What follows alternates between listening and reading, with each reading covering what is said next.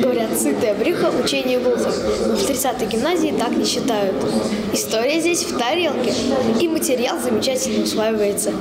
Очередной урок ОДНК-НР «Основ духовно-нравственной культуры народов России» у шестиклассников проходит за накрытыми столами. Посвящен он армянскому народу, одному из древнейших народов на территории Ульяновской области. В Поволжье армяне проживали уже в X и XI веках. Об этом пойдет речь за дегустацией национальной кухни. Ну и вот что может быть лучше, чем этническая кухня. Причем вот сегодня те блюда, которые мы будем пробовать и узнаем их историю, они приготовлены не просто какими-то там русскими поварами, а настоящими армянскими специалистами, то есть вот стопроцентными, так скажем, армянами. Поэтому мы сейчас с вами не просто попробуем какую-то пищу, а попробуем кусочек истории.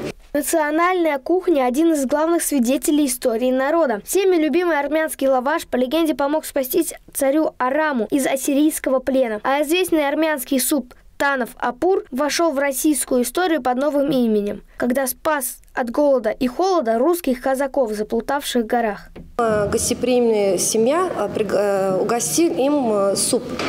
Они поели суп, и прямо сказали, братец, ты спас нас.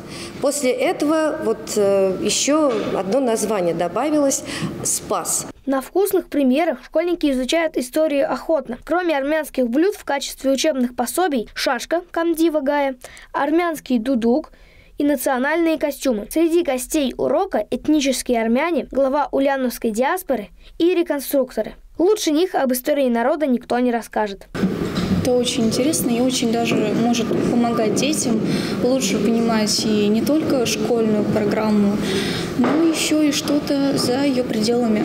Ведь на самом деле в мире так много всего, и дети знают из этого только малую часть. Проект «История в тарелке» рассчитан на несколько занятий. В прошлый раз ребята знакомились с военной кухней, а в следующий раз их ждут татарские национальные блюда. Иван Шагунов, Юлия Шагунова, Александр Кудряшов.